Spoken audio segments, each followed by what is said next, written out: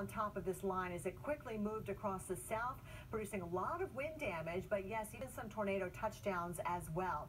So in all, over the past couple of days, more than 500 severe reports when you compile the wind, the hail, and the tornadoes all together. And you can see it really lines up from the Ohio Valley and eastern Great Lakes all the way down to the Gulf Coast. The tornado reports were mainly across the south, stretching from Texas uh, into Louisiana, where unfortunately it turned deadly, and even into Alabama as well. We'll have an update on the situation there coming up.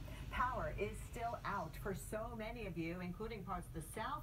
Uh, we're talking about North Carolina at 46,000 customers now without power. But I want to draw your attention to New York State.